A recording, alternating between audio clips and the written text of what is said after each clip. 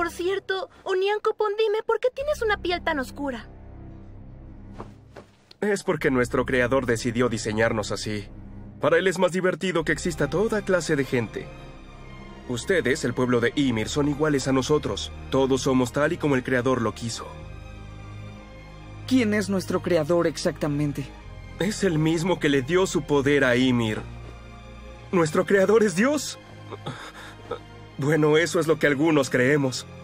Somos libres de creer en lo que queramos, ¿o no?